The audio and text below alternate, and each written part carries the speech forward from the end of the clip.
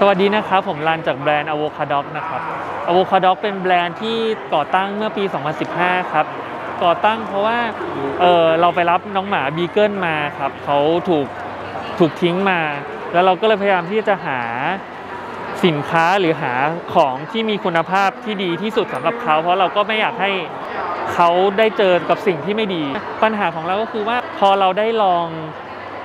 ไปซื้อของมาใช้แล้วเนี่ยกลับเจอว่าน้องบีเกิลเนี่ยซนมากเลยทำให้ของสินค้าพังหมดเลย ก็เลยเป็นที่มาว่าเราต้องลองเริ่มที่จะผลิตสินค้าให้กับให้กับเขาใช้เอง ก็เลยลองคิดว่าเอ๊ะจะทำยังไงดีปลอกคอแบบไหนถึงจะเรียกว่าปลอกคอที่ดี ซึ่งไม่ว่าจะเป็นปลอกคอที่มีขายตามทั่วไปจะเป็นหนังแท้หรือหนังสังเคราะห์เนี่ย เอามาให้เจ้าเดซี่ที่บ้านตัวน้องหมาตัวนี้นะฮะที่เป็นโลโก้ใช้เนี่ยเขาก็พังหมดเลยภายใน 1-2 อาทิตย์เราอยากได้ปลอกคอที่มีคุณภาพ เราเลยลองใช้วัสดุไปหาวัสดุแปลกๆ มาลองทำปลอกคอดู ปรากฏว่าเราก็ไปเจอความ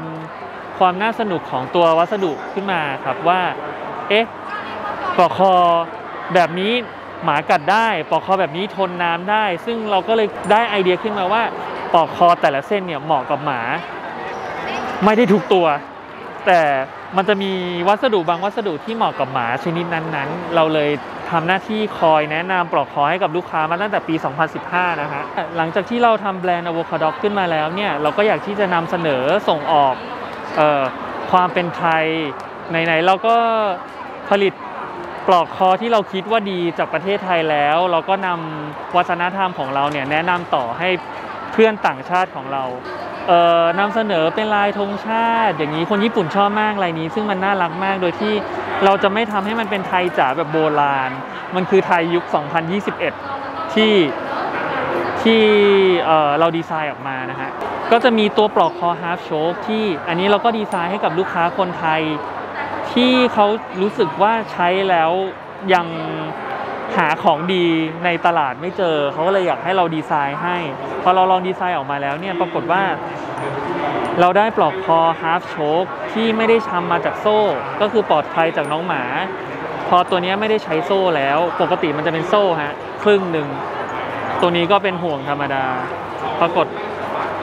เราเปลี่ยนวัสดุจากโซ่ทำให้สิ่งที่เราได้ก็คือว่าปลอกคอเนี่ย จะบีบหลังจากที่น้องหมาก้าวออกไป1ก้าวปอกคอจะบีบที่หลังคอครับ เพราะว่าด้านนี้น้ำหนักจะมากกว่าด้านนี้เพราะเราไม่ใช้โซ่แล้วถ้าใช้โซ่เนี่ยโซ่จะอยู่ด้านล่าง ตัวนี้ก็จะบีบเฉพาะหลังคอน้องหมาจากสรีระที่ปอกคอมันถ่วงกันไว้ฮะอันนี้ก็เป็นความน่ารักอีกแบบหนึ่งที่ที่เป็นคุณภาพของทางอะโวคาโดครับอะไรของทางอะโวคาโดนะครับเราอยากจะให้วัสดุมีคุณภาพสูงที่สุดเท่าที่จะทำได้เนี่ยเราเลย ไปนำเข้าอะไหล่จากญี่ปุ่นมาครับ แล้วก็ทำการชุบจากญี่ปุ่นด้วย ทนน้ำเกลือ 48 ชั่วโมง หรือว่าต้องผ่านมาตรฐานแรงกระชาก 250 กิโลอย่างนี้ครับ ก็ตัวอะไหล่ที่เราเอามาใช้ เดี๋ยวนี้น้องหมาออนอนคู่กับเจ้าของแล้วอะไหล่ต้องล้างง่ายไม่เหม็นอืมเลยเป็นที่มาว่าเราใช้เป็นหนังสังเคราะห์ หลาย ๆ แบบมาผสมกัน ตัวแบรนด์ Avocado มาจากชื่อคำว่า Walk a Dog นะฮะ จริง ๆ แล้วเรามองเห็นความสัมพันธ์ การจูงน้องหมาเดินเล่น จริง ๆ ไม่ใช่แค่การจูง แต่มันคือช่วงเวลาที่น้องหมากับเจ้าของเนี่ยได้สารความสัมพันธ์กันจริง ๆ ความสัมพันธ์ของเจ้าของกับน้องหมาที่แท้จริงแล้วเนี่ยเกิดจากตอนที่เเป็นช่วงเวลาที่จูงเดิน เราเลยให้ความสำคัญกับช่วง Walk a Dog ตรงตรงช่วงนี้ก็เลยเป็นชื่อที่มาว่าอะโวคาดครับผม